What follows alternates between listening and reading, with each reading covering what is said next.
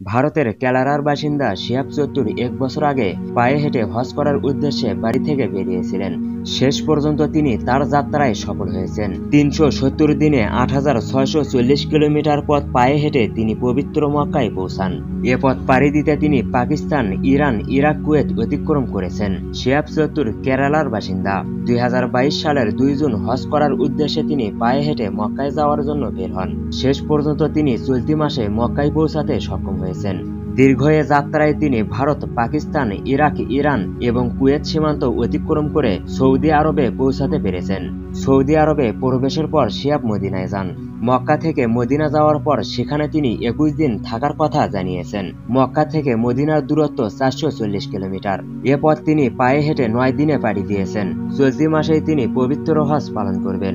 এ মাসেই তার মা জয়নব হজ পালনের উদ্দেশ্যে মক্কায় যাবেন। মা ও ছেলে একসঙ্গে হজ পালন করবেন।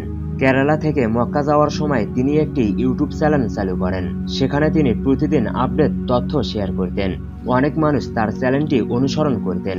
পায়ে হেঁটে হজ করার উদ্দেশ্যে বের হওয়ার পর শিয়াব পাকিস্তান সীমান্ত পার হতে গিয়ে সমস্যায় পড়েন। কারণ পাকিস্তানে প্রবেশ করার জন্য তার কোনো ভিসা ছিল না।